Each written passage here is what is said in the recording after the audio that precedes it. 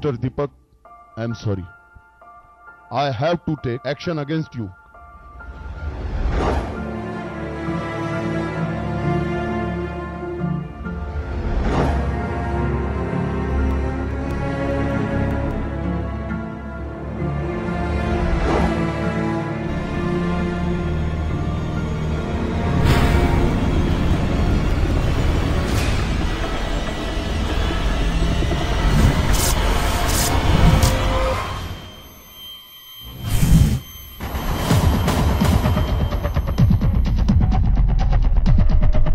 इतनी रात गए अच्छा मज़ाक कर लेता यार।